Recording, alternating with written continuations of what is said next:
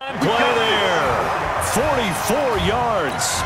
Boy, another big play late here for an offense, Charles, that certainly has had its fair share of big plays. Coverage has been a problem all game long, and I would say that going along with that. And that is caught. Touchdown, Miami.